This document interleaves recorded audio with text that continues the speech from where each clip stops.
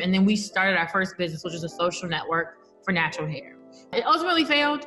Uh, we did that for about a year and a half. Of the year and a half we were in business, we sold one ad for $250, um, which was like after we had sunk probably 25,000 into the business. app that we were doing. Yeah, and so the way I can tell you about how that got started. We left school 2013, summer 2013, got married, um, moved into our own place. Kim had a full time job, and then I had an internship.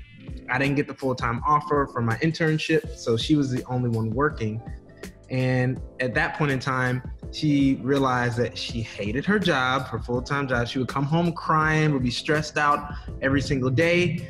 And she's like, you know what? I want to do the app business that we had thought about when we were back in school. And I was like, yeah, Kim, let's go for it. You know, what do you need? Like, we need about $25,000 to get it built and get it started because we weren't tech people. And so I was like, well, we gotta have to save up for that or figure something out. And then that's why I was like, no, you're gonna go on Who Wants to Be a Millionaire. And then he was like, that's ridiculous. And I was like, no. yeah, that, that's not a, a, linear train of thought by any means. Not, not at all. I, I was like, no, uh. you're nuts. That's not a way to raise money. There's just a lottery. They're not gonna pick me. This is a waste of our time. Let's try to like he's the get kind a loan person, or raise VC. He's the kind of person. That summer we were watching a lot of Who Wants to Be a Millionaire, and Tim would answer every single question right. Every single oh. You yeah, you ever sat next to somebody who knew the answer to every one of those questions? Yeah, yeah. for sure.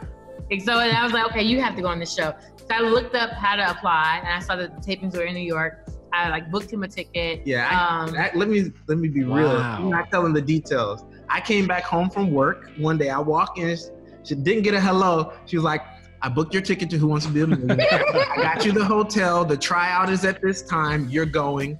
It wasn't a conversation. It was a commandment. So I like, a yes, dear. Uh, just keep rolling. Then he got on the show and he ended up winning hundred thousand dollars. So really eighty after tax. Wait, so on the show, so when you get to the hundred thousand dollars, right? So you, did you answer it, and then you got? Did you get the phone a friend? What lifeline are you on? Give me a sense okay, of where yeah, you're at. I'll, I'll I definitely skipped all of that because that was like maybe two months between getting on the show and actually getting the check. So yes, actually, we're skipping out on a pretty crazy detail. So before even getting on Who Wants to Be a Millionaire, we were trying to win pitch competitions with that idea. Okay. Um, I didn't. We didn't find out we got Who Wants to Be a Millionaire until we had lost a pitch competition. We came in fifth place and weren't going to move on to the finals. Right after we got the news that we had lost the pitch competition, it was at a conference in Houston then we were out in the hallway. They was like, "What happened?" It's like we just found out we're gonna be a Who Wants to Be a Millionaire. They were like, "We just lost. Is everything okay?" Was like, "No, it's cool. It's, we're out of here." so I got on the show. Uh, I answered the first. I had out of the first ten questions or so, I answered eight of them, and I used a couple lifelines because my goal really was only to win twenty five thousand dollars. I was playing really conservatively. I was like, oh, Kim wow. just needs twenty-five thousand dollars. Let me just try to get twenty-five thousand dollars. You know, with trivia is really random. You never know if you're gonna know it or not. So right. I'm trying to win twenty-five thousand dollars. So within the first four or five questions, I got into twenty-five thousand dollars. I think I was up to sixty-four thousand before I, I used my first lifeline. And so I was like, I was trying to play really, really conservative because I knew that after 10 questions, you get a guaranteed 25K. So my whole goal was to make it through the first 10 questions after we did that, I started using all the lifelines, just trying to keep going. Um, but I actually walked away at the $250,000 question after getting the $100,000 question correct because I didn't know it. I can give it to you. Too I, much to it, risk. It haunts Too my dreams. Yeah, like, absolutely. Tell me what that question was.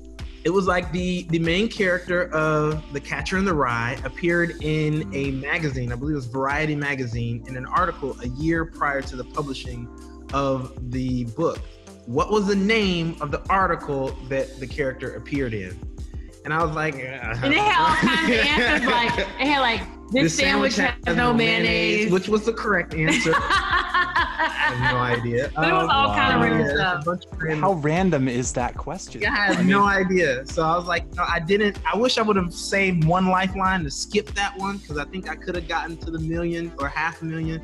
But a hundred thousand was cool because that's uh, outside of 250, that's the one that they give you completely upfront. You just get a check for a hundred thousand dollars. So that was really cool to get. Like six weeks later, end up getting That's a check awesome. in the mail, and then we didn't cash it for like the first two weeks. We were like, I don't know, we don't know what to do. I've never seen this amount of money. It's gonna bounce. Yeah, right. ABC is just gonna bounce a check. Yeah, Oh we're two kids from the south side of Chicago. I had never, never seen that many zeros anywhere um, before. So we, it took us a little while to cash it. Hey everyone, thanks for checking out that clip. If you enjoyed it, be sure to hit the like button down below. And if you're interested in hearing the full episode, it's out right now on our YouTube channel. We've had a lot of great guests come on this show before, and we've got a lot of great guests coming up in the future. So hit subscribe so that you don't miss a single episode.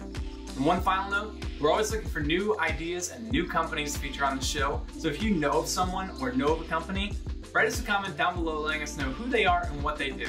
We'd be happy to have them on the show. Till then, I'll just be here waiting for your comments. So, uh, see you later.